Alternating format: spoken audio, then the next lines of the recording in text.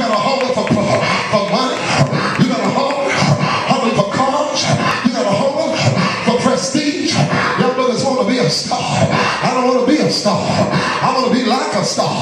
And I'm not talking about Michael Jordan. Uh-uh, I'm not talking about Denzel. Uh-uh, I want to be like a star. I want to be like that bright morning star.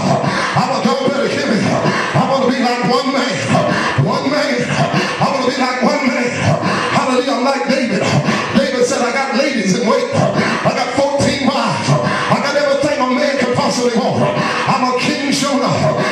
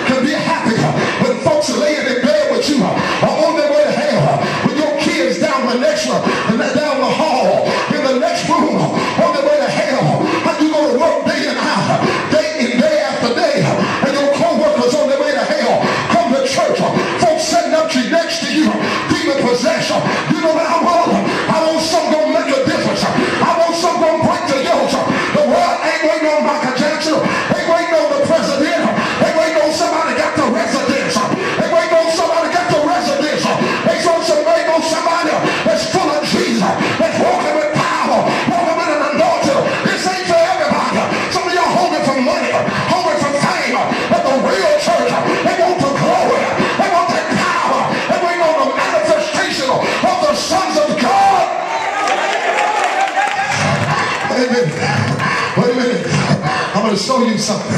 I'm going to show you something. He said, listen, you shall be God unto Pharaoh. See, the only way you can whoop the death, you got on. Have you ever noticed? Ain't nobody in history ever whooped him.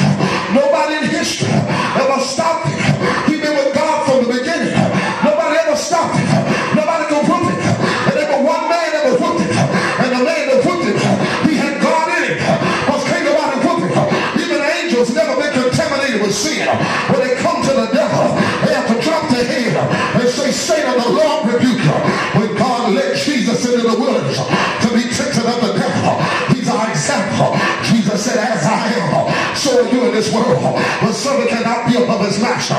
Neither the disciple above his Lord. But they shall be as the master.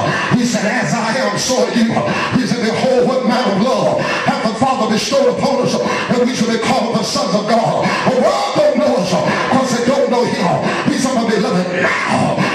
sons of God?